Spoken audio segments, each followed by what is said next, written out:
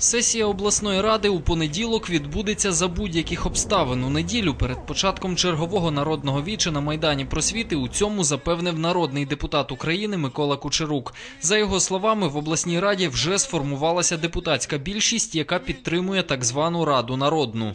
На жаль, ще поки що я тільки єдиного не добився, щоб підписав розпорядження колишній голова обласної ради Кічатик. Якщо керівництво обласної ради не підпише розпорядження, то сьогодні на вічі буде проголосовано про скликання сесії, а територіальна громада має право це робити.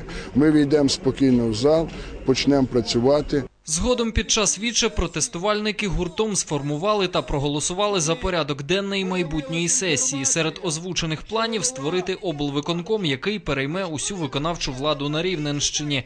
На перших порах очолити його має сам нардеп Микола Кучерук. Крім того, мітингувальники вимагали заборонити на території області партію регіонів та комуністичну партію, а також повернути із Києва рівненський підрозділ Беркуту. З приводу останньої вимоги до громадян від імені очільника обласної міліції Дмитра Лазарєва звернувся начальник рівненського міськвідділу Руслан Мельник.